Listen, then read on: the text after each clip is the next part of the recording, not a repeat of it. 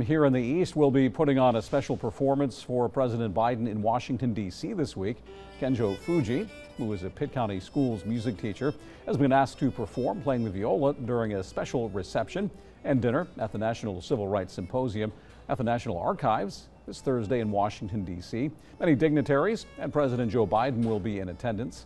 Fuji says that he was surprised that he was given the opportunity to perform for the president to be honest, yes, I was I was surprised and thrilled. Um, uh, you know, it's it's not something that you, it happens often.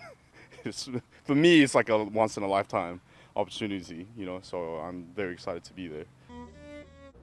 And the event is celebrating the 75th anniversary of President Truman signing an executive order ending segregation in the armed forces. Sounding great there.